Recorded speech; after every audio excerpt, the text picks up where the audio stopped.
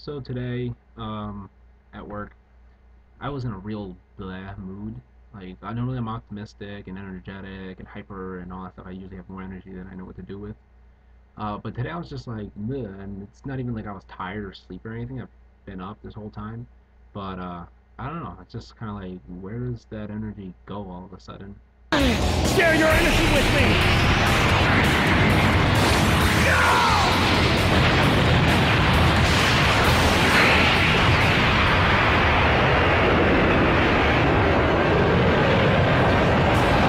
Story, noob. Tell it again.